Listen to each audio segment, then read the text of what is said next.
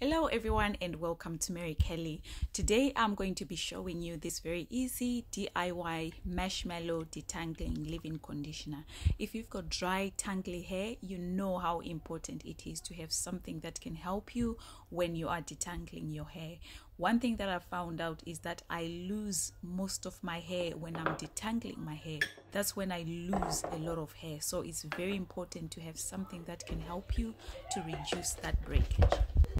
I'm just going to be using clean distilled water as my base and then I'm going to use marshmallow root powder as well as some neem.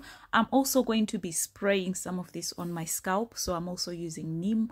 I'm also using glycerin and then I'm using my Ayurvedic hair oil as well as vitamin C oh sorry vitamin e just to make sure it lasts a little bit longer. So guys the process is very easy. You are going to steep your uh, herbs into uh, the water and simmer it on low heat to release the benefits of these two herbs and then you're going to strain and add the rest of the ingredients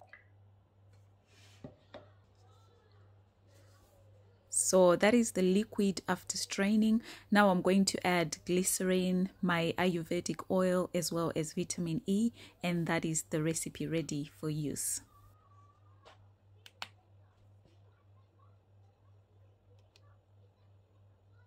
so don't sleep on these uh, DIY recipes. To be honest, I can say that most of the things that are working on my hair are things that I've made myself, things that I've tried myself. So I know what works for my hair and I know what doesn't work for my hair. So do try out uh, some recipes, mix out some things.